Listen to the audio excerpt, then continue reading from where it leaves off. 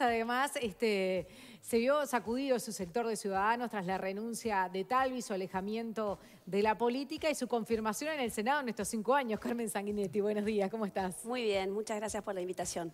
Bien, bueno, antes que nada hablar sobre la, situación justamente de, Ciudadanos, este, este, alejamiento de Talvi, estuvimos hablando con Adrián Peña la semana pasada, pero eh, ¿te sorprendió? ¿Lo venías analizando? ¿Lo venía hablando contigo? A ver, eh, un poco yo creo que cuando, cuando Ernesto renuncia a Cancillería y, en vez de hacer lo que muchos pensaron que iba a hacer, que era ocupar su banca en el Senado así de una, él dijo me voy a tomar unas semanas para reflexionar, voy a ver un poco cómo sigue todo.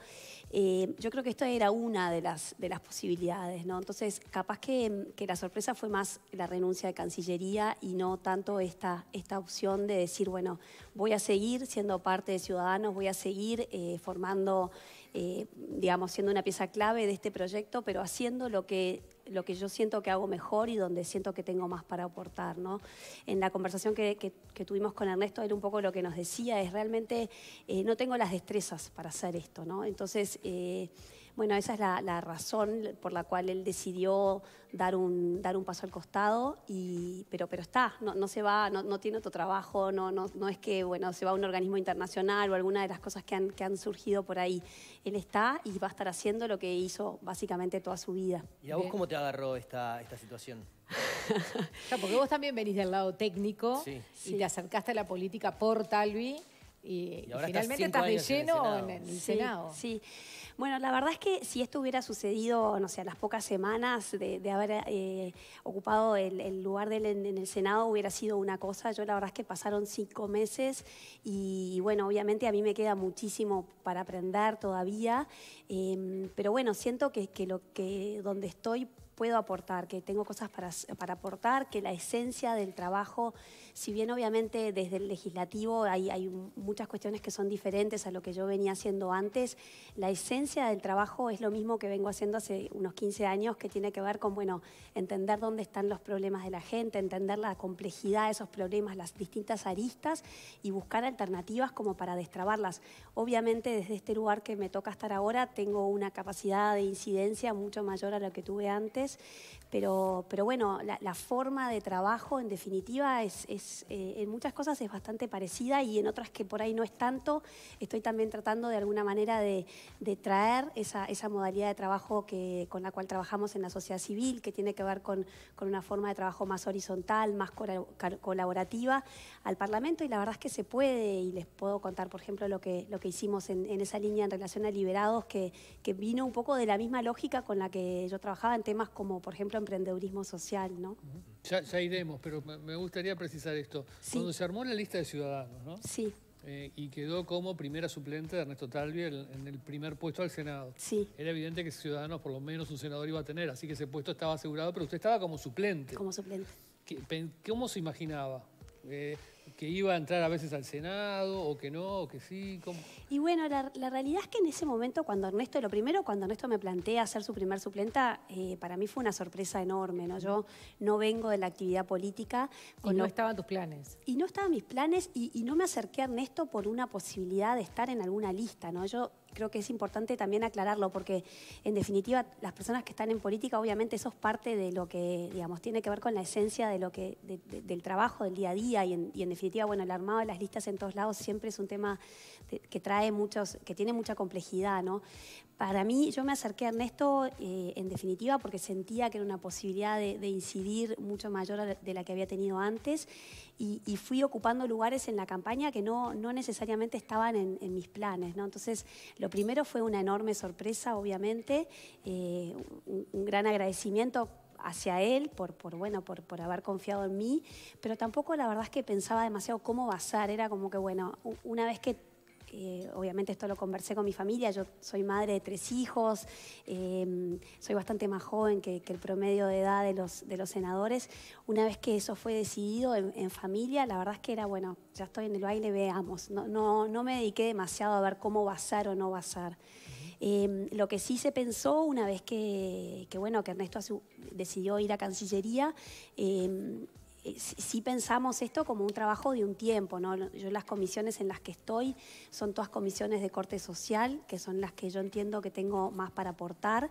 las cinco comisiones eh, son, son este tipo de comisiones, con lo cual eh, yo no pensaba estar unos meses, ¿no? Había tomado esta decisión por tres años, cuatro años, una, una cuestión así, ¿no? Entonces... ¿Y, qué contacto fuiste teniendo con, con Talvi en, estas idas y vueltas que él fue teniendo? Que cuando eligió la Cancillería vos pasabas a estar varios años con, con este plan que mencionabas recién, después cuando sale la Cancillería se genera la incertidumbre de que de repente no y que te tenías que volver para tu casa o a la suma hacer suplencias, y ahora ya no van a ser tres o cuatro años, sino que van a ser los cinco años. Sí. En, ese, en, ese, en esos este, en esos cambios de, posición, ¿lo, fueron conversando con, con Talvi? Mira, yo, yo tuve un vínculo, digo, tengo un vínculo cercano con Ernesto, pero teníamos un, ida y vuelta diario durante la campaña, ¿no? porque obviamente estábamos en el mismo espacio físico, con lo cual ahí estaba muy cercana a todas las decisiones. Eh, cuando él fue a Cancillería y yo me fui al Senado, ahí la verdad es que no teníamos un, diálogo tan, tan fluido. Ahí fue cuando se dieron todos los movimientos. Exacto, exacto. Yo no, no, no, estaba tan al tanto de, estas cuestiones. Eh, sí hemos tenido en estos, en estos meses algunos encuentros, pero, pero bueno, eh, ese, ese, vínculo tan, tan fluido, tan cercano, no lo, no lo mantuvimos en estos meses. Pero es real como, como se ha manejado a, nivel de prensa, que, que, vos te vas enterando de esas decisiones con, con la gente cuando sale eh, la carta pública de, de Talvi? O sea, ¿te enterás con, con, nosotros de las decisiones que va tomando y que te afectan directamente? El domingo me enteré con un poquito antes que ustedes seguramente porque nos mandó la carta, pero, pero sí, él decidió compartir esto con muy poquitas personas. ¿Y la salida de Cancillería? Y la salida de Cancillería, bueno, un poco antes, un poco antes, sí. Pero, pero bueno, es, es una decisión personal de él eh, en relación a con quién compartir determinadas cosas y con quién otras. Hoy dijiste que te llamó más la atención esa salida, la de Cancillería, que la última de la política. Sí. ¿Eso no, no se venía hablando, que él no se sentía cómodo en ese espacio? Em, sí, indudablemente no, no, las decisiones no son de un día para otro, pero, pero bueno, yo creía que, por ahí iba a, ser, iba a ser más dilatada en el tiempo, de hecho se creía que iba a ser más dilatada en el tiempo, entonces creo que la, la sorpresa fue más fuerte fue ahí, ¿no? Em, pero bueno, yo creo que lo, que sucedió, sucedió, tenemos que mirar para el futuro y, personalmente creo que Ciudadanos tiene mucho para, aportarle al Partido Colorado sin duda y al país en general. Creo que tenemos un, equipo valioso de personas, eh, bueno, en el Ejecutivo, en el Legislativo y también un montón de técnicos que se acercaron, que no estaban antes. Yo una cosa que... ¿Se acercaron ahora en este último momento? Bueno, que se acercaron en este último momento han habido muchos jóvenes. Ayer abrió una agrupación nueva, increíblemente. Estuve con el sábado de mañana filmando para, para la candidatura de, Laura Raffenspot y me contaban que una de las agrupaciones había tenido como recibido gente nueva en esta última semana, como, un, como una sensación, yo creo como un acto de decir, bueno, nosotros estamos y nos quedamos en serio, ¿no? Pero digo em, que se sumaron en el proceso de, la, conformación de ciudadanos. Una de las cosas que tiene esto de generar proyectos de ley, yo por ahora presenté uno solo que tiene que ver con teletrabajo, es que cuando uno tiene la responsabilidad de legislar de temas específicos, se requiere un saber realmente muy, muy específico, de alguien que haya estudiado esa disciplina y que la haya ejercido mucho tiempo. ¿no? Yo no sé cómo se hace para legislar si no tenés ese respaldo, porque todos los legisladores obviamente tenemos un equipo de técnicos, pero tampoco los técnicos son especialistas en todas las áreas. Entonces a mí me gusta siempre enfatizar el valor agregado de eso. Yo para este proyecto de teletrabajo, la verdad que tenía tres, cuatro laboralistas de primera línea, eh, con muchísima experiencia, que los tuve dos, tres semanas realmente a la orden, muchísimas reuniones, en ese entonces estábamos en el medio de la pandemia, muchísimos Zooms, muchísimas idas y venidas, y eso eh, creo yo mejora la calidad de, nuestras leyes y, a veces es el, es el valor agregado que menos se ve en este tipo de, actividad. ¿Dirías que falta en, en, el Poder Legislativo personas con esas características que vos mencionás? Mira, yo lo que creo que podríamos ser un poquitito más eficientes en cuanto a qué con qué hacemos sinergia y con qué complementamos, ¿no? Porque hoy lo que sucede es, cada legislador puede tener cinco asesores, eh, bueno, eh, digamos, tiene la capacidad de traerse en paz en comisión cinco asesores. Y por otro lado, eh, bueno, tiene una partida como para contratar a alguna persona a mí la sensación que me está dando de estos meses, y obviamente estoy, estoy como recién aprendiendo, es que probablemente si somos 30 senadores y capaz que tenemos 30 personas investigándonos el mismo tema, ¿no? Como que me da la impresión de que podríamos ser más eficientes en esto de las sinergias.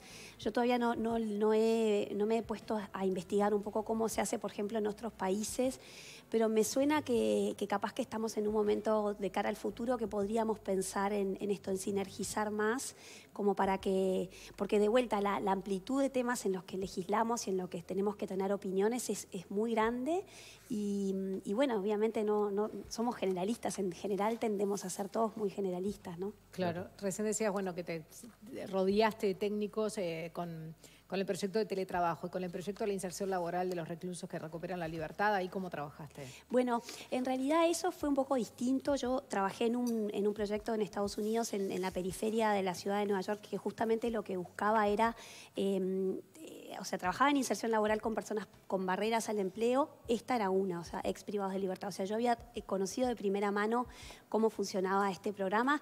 Cuando empecé le pregunté, nosotros tenemos dos asesores en temas de seguridad, Ojeda y Sanjurjo. Eh, Ojeda es eh, quien tiene como este perfil capaz más académico de investigación. Le pedía a Diego que me, que me relevara un poco qué había en el mundo y él descubrió este mismo programa con el que yo había trabajado.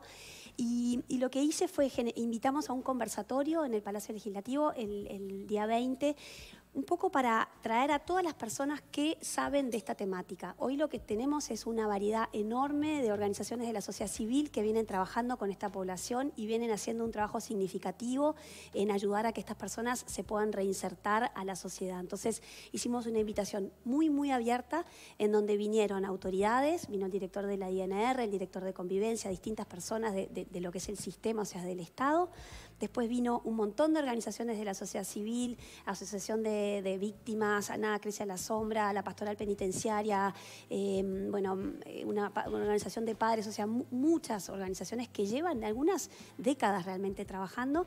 Y después empresas, porque la idea era también tener eh, representatividad de estos tres sectores que de alguna manera son los que se ven afectados con esta idea que lo que busca es generar los incentivos, incentivos reales y significativos para que las empresas contraten liberados. Hoy lo que sabemos es que tenemos más o menos 6.000, 7.000 personas que todos los años salen del sistema, salen de las cárceles. Y si bien hay alguna duda en relación a cuál es el número la reincidencia, 50 y pico, 64, tenemos una reincidencia muy alta. Entonces lo que está pasando es que esas personas muchas veces salen, vuelven a delinquir y vuelven a entrar. Y es como una puerta eh, rotatoria, giratoria, es como un círculo vicioso en donde muchas veces cada vez que pasan, pasan en peores condiciones de las que salieron. ¿no? Entonces, realmente el, Juan Miguel Petit, que también por supuesto vino, de hecho el, conversatorio empezó con una, una, charla de Juan Miguel, una charla de, de, Jorge Penedo, que es el gerente de recursos humanos de Teima, que lleva muchos años contratando tanto personas privadas de libertad como liberados. Y también habló eh, Serafino, que es un liberado, a contar en primera persona su, experiencia. Nosotros lo que vemos es que, bueno, esta foto que, marca los informes del comisionado penitenciario parlamentario, ya llevamos varios años sabiendo que lo que pasa es, es terrible, ¿no? Entonces, ¿qué hacemos para cambiar esa realidad? Yo eh, soy eh, muy, muy optimista, pero también muy realista. Esto no va a cambiar la realidad, ¿no? o sea, no, no, no es que van a bajar los números drásticamente. Esto va a ser un aporte hacia un cambio en la realidad. Como esto, tenemos que pensar muchas otras alternativas. Eh, por ejemplo, en lo que tiene que ver con lo productivo, lo que sucede en las cárceles. Yo estuve en el Excomcar hace, hace un par de semanas y uno ve todo, ve desde esos módulos más, más complicados eh, a los que estamos en ese tercio que les estamos ofreciendo condiciones eh, degradantes y esa, terminología bien, dura. Después ve ese tercio en los que les estamos ofreciendo poco, o sea, no lo suficiente, y a un tercio en donde sí realmente les estamos dando las herramientas, ¿no? Pero si bien les estamos dando las herramientas, hay muchos que salen y capaz que trabajaron 3, 4 años y sin embargo no figura eso como un antecedente de trabajo, ¿no? O, bueno, o, salen solo con lo que tienen para el ómnibus, o, no hay quien los absorba. O, ni siquiera. Sí, y ni siquiera. Y después en lo que tiene que ver con, fomentar el emprendedurismo social en las cárceles, también hay mucho para hacer ahí. Y tenemos ejemplos en la región, en el penal de Mendoza, por ejemplo, hay ejemplos muy buenos. No, hay que irse tan lejos, ¿no? El propio polo industrial. Senadora, eh, está claro que su perfil es lo social, Sí. pero como senadora le va a tocar votar una cantidad de cosas que alejadas, ya empezando Sí, con el hoy presupuesto. dijo con el- amplitud de temas. Exacto, Sí. eso no, no se va a, no va a poder escaparse de eso. No. Y cuando estaba sentada acá, el, el último tema que estábamos discutiendo era el de la ley de caducidad, la propuesta de registar ahora. Cuando, cuando siente eso, ¿qué piensa? Pienso que voy a precisar muchos asesores. No, la verdad es que justo venía para acá hablando con, con mi suegro, que fue diputado, fue senador y ocupó cargos, y es una persona que sabe muchísimo de historia, y bueno, obviamente, como cualquier uruguayo informado, uno ¿De conoce... ¿Quién es tu suegro? A Alberto Brause, Alberto Brause. Entonces, eh, la verdad es que sí, una de las cosas eh, que, que a mí me resulta como capaz más desafío de esto es, estamos acostumbrados a que, a que quienes ocupamos estos, estos lugares tenemos que tener una opinión de todos los temas. Y, y yo tengo una cabeza bastante, bastante académica, me, me- me gusta bastante entender bien la complejidad antes de, de opinar. Entonces, eh, para mí eso va a ser un desafío, es un desafío, esto de decir, bueno, eh, en este caso concreto creo que es un tema de una enorme complejidad. Si ustedes estuvieron un buen rato escuchando a un constitucionalista de- hablar del tema, eh, indudablemente hay que esperar a ver qué es lo que dice el, el texto y, y- y analizar, pero, pero sí, eh, en muchas situaciones estoy en esa, en esa sensación de, de- de, bueno, de tener que, que- que ponerme a investigar los temas de... Pero no tiene una opinión sobre la ley de caducidad, si conviene volver hacia ella o dejarla atrás Es definitivamente. que no sé qué, qué- cuál es el texto de lo que van a proponer, entonces vamos a, a ver qué es lo que... También en estos temas van a jugar mucho las presiones políticas, eh, sobre todo de la coalición. ¿Cómo, te vas, ¿Cómo crees que puedes manejarte con eso? Mira, yo la verdad es que hasta ahora, eh, no sé cómo me puedo manejar a futuro, pero por ahora me siento muy cómoda con, trabajando en lo que es eh, con, con los compañeros tanto de la coalición como de la oposición. Eh, a veces uno se imagina que, que, bueno, que esto de, de- es, es algo como muy alejado y en definitiva es, es un conjunto de personas, se- juega creo mucho lo, interpersonal, la capacidad de diálogo, el, el hecho de entender también la historia de los distintos partidos y la historia del recorrido y desde dónde se paran, pero, pero por ahora me siento, me siento cómoda, me siento bien. Bien, a ver, se habrá para trabajar todavía. Te queda, te queda muchísimo, ¿no? Recién sí, arranca. recién arrancan y tengo todo para aprender. Bien, Carmen Sanguinetti, muchísimas gracias. No, por favor, gracias a ustedes por la invitación. Muchas gracias. Tenemos que actualizar hasta ahora los detalles del tiempo.